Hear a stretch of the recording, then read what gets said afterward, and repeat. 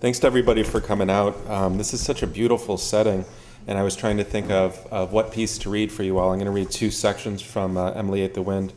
And this first one is, is simply titled Beth, and obviously it's about Beth. Um, but uh, the reason I wanted to read it here is because walking around this area, I got to walk down to the water and go down to the pier.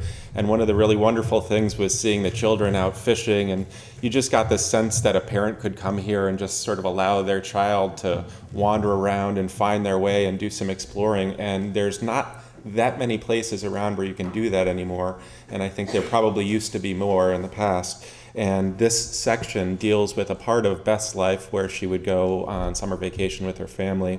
She's recalling it all um, through that sort of magical prism that adults create when they're thinking about their childhood. And so this is Beth. 12 years old. She was 10 years old. She wore sundresses and went barefoot. There were shorts, loose tank tops. The lingering hint of sunscreen applied in the morning mingled with late afternoon bug repellent. A sticky film of orange popsicle residue glazed across her lips and chin. Grape popsicles, red popsicles, glasses of iced tea, milk, soda, lemonade. It was not the cosmopolitan set before her, not that nip immediately following every sip, nor the glow that trails lazily afterwards. It was not Marlboro lights met with umber lipstick. It was not here, not him, none of this. It was summertime. Child, girl, child, 11 years old, 10 years old, 12 years old, the Adirondacks, the yearly family rental, early August heat. Do you want to go out to the log? Go down to Ollie's for sundaes. I'll play you in checkers. Let's catch it and you put it in the jar. Put spit on it. Lick it. I will teach you. The tune was the same. It is often the tune. He wasn't her father, wasn't her brother, wasn't her girlfriends or teachers, or even any of the neighborhood gang. He was a fawn light, willowy fawn dust bleached white in the sun. Fawn dust tickling her forearms and winking up at her from beneath the hem of his soccer team shorts. Lime green tang of little boy sweat, dirty ears, perfectly formed, tanned, softly laughing ears.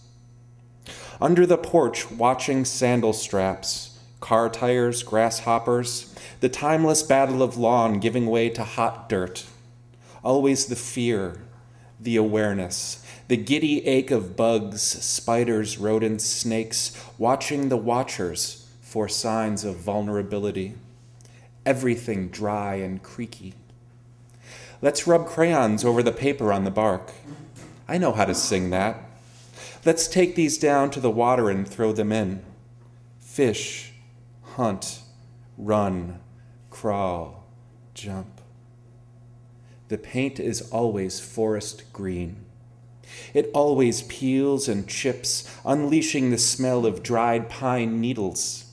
The wood is not pine, but the smell is pine needles. The taste is pine needles. The sound, sap drooling. The light gives natural warmth, broken checkerboards, family dogs, wet dog, a deflated football near a clothesline heavy with damp swimsuits. Cars are always leaving. This radioactive memory, the edges burnt away. A radiant veil of sauce drizzled over him, them, that place, that time. He has no eyebrows. The eyebrows are youthful smiles dancing over dewy mirrors of green flecked brown. His nose always ran. His nose was always running, sneezing, wiping, leaving slick, narrow ridges across the hem of his yellow t shirts. The voice warbles two octaves too high, a loose rustle of wheat whispering the secret to the clouds to keep from the sky always their secrets. So, throughout this book, I, uh, uh, one of my goals was to be able to drop in and out of the main characters' lives at different points, whether it was childhood or adulthood, and sort of flash back and forth through time, which, um, looking at it in more of a poetic sense than a fiction sense, allowed me access to do. Um, and uh, so I'm going to read you another section. This one is called Lucinda, which maybe you're picking up a theme with my chapter titles here. Um, and Lucinda is uh, somebody who's spending a lot of time in a place called the bar, which is a bar. And she has been giving, what else would it be, right? And this Lucinda chapter is about Lucinda. The bar is called the bar. Um, and she's been giving a rose. She's been given a rose by somebody at the bar who is not her husband. And so she's thinking about this rose, and it's the end of the night, and she has the rose, and she needs to think about what is she going to do with the rose, and also what would happen if she did come home with this rose. So this is Lucinda. A pile of fresh red roses in the dumpster, garbage on top of them, garbage beneath. Most would not consider these fresh red roses garbage the garbage date of roses linked closely to the browning of their leaves and petals. These are not the roses from her wedding day clustered in a dried mass on the bedroom wall. Not old prom roses. Not roses from Mrs. Shields' garden down the street. Perhaps not really roses at all. Certainly no baby's breath. Once the decision has been made to eat only sauce, cheese, toppings, and leave the rest, pizza crust becomes garbage. The pizza. Bu- Am I too loud? Am I not loud enough? This just keeps drooping on you. Uh, I get that. That happens to me. oh, I overshared.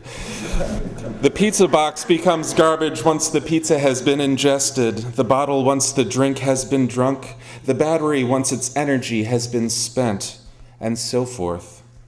Things can be done to accelerate the process from utility to garbage. After all, one cannot live on roses. And what would Jay think? It has been months, perhaps longer, since roses were appropriate in their household. He would never buy it even if she felt like constructing an entire fiction with interwoven scenes and plausible plot devices based on realistic actions of characters familiar to them both, why bother? I bought them from an old blind woman on the corner of Sheffield Avenue. She was in a nylon lawn chair. They were beautiful. She looked so content. The sun was on her face. It lit up the spray of petals as if from within illuminated roses. I couldn't resist. Yes, Bob gave them to me for closing on the Goldstein property. No, nobody else could even come close. A coup, a coup. See how healthy, smell, touch, finger. Watch me arrange these vibrant roses atop the living room table for all to savor. Victory roses. My father stopped into the office as a nice surprise and took me out to lunch. The restaurant was the one, the new one, across the street from the theater on Tompkins, the Italian place. Lovely veal, warm bread. It was even nice enough to eat outdoors.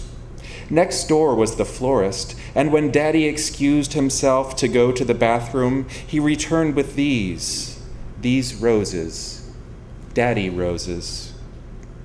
A pile of fresh red roses in the dumpster.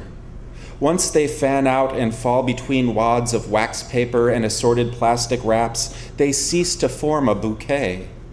Nor is a single red rose, though perhaps romantic to many, a bouquet, especially one on the concrete. What is it? Pink roses are for friendship, black roses are for death, Red roses are for love until, of course, they brown and end up in a dumpster, at which point they are nearer to landfill than love, or even lust. Mountains of used baby diapers and other miscellaneous crap. Trash. Garbage. Of course, the process can be accelerated. The line was easier to cross than she expected when thinking about the line at various times since they were married seven years ago.